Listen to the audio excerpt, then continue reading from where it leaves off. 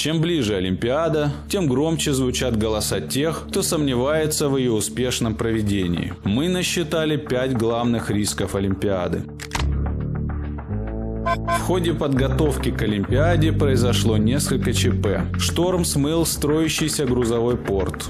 Обрушился тоннель при возведении дублера курортного проспекта, из-за чего просел жилой дом. Дважды была затоплена олимпийская инфраструктура, автодороги и вокзалы. Два раза размывало береговые укрепления Олимпийского парка. Низкое качество строительства объясняется нарушением технологических норм и правил. К примеру, стадионы в Эмеретинской низменности построены на болоте.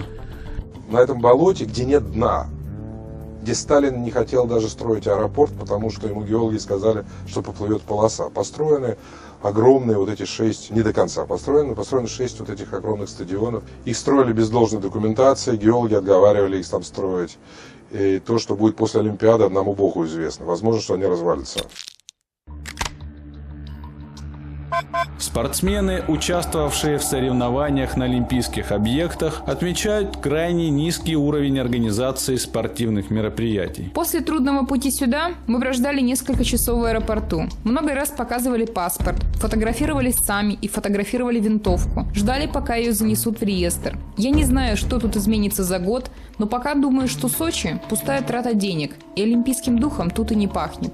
Отсутствие в Сочи специалистов мирового уровня по курортному делу и организаторов массовых мероприятий не оставляет никаких сомнений в том, что неразбериха станет визитной карточкой Олимпиады. В России нас встретили кошмарно. Все неорганизованно, бардак. Приехали в 7 вечера в аэропорт и 5 часов торчали в очереди, чтобы проверили винтовки. Собственные энергомощности Сочи покрывают лишь потребности города.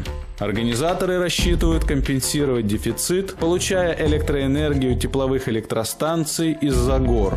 Насколько это надежно? Ведь только в течение одного 2012 года по причине плачевного состояния сетевого хозяйства в Сочи произошло более тысячи отключений электричества.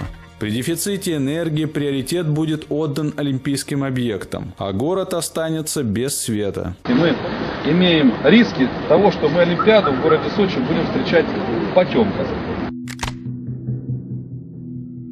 Соревнования по зимним видам спорта на открытом воздухе должны пройти в Красной Поляне. Февраль 2013 года в этой местности был отмечен особенно высокой дневной температурой воздуха. С 7 по 23 февраля, то есть ровно за год до Олимпиады, она составила 8 градусов тепла. Есть вероятность того, что к потеплению привели хищническая вырубка леса и строительство тоннелей дороги Адлер-Красная Поляна. По сути, дорога стала трубой, по которой теплый воздух с Черного моря накачивается в ущелье Красной Поляны. Потепление климата означает, что Красная Поляна перестанет быть зимним курортом, и все инвестиции окажутся выброшенными на ветер. Сочи никогда не отличался европейским уровнем сервиса. За два дня в трех магазинах из трех нас пытались обмануть.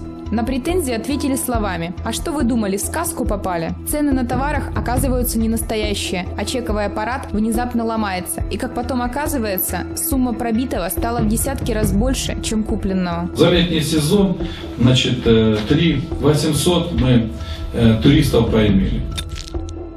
Сочи – это что-то абсолютно ужасное. Спортсменов по 6 часов держат на таможне, потом не отдают винтовки, логистика адская, организация отвратительная, нет электричества в пресс-центре, везде грязь и стройка. Я в аду. Россия готова к проведению зимних Олимпийских и Паралимпийских игр в 2014 году. И вся олимпийская семья будет чувствовать себя в Сочи как дома. Mm-hmm.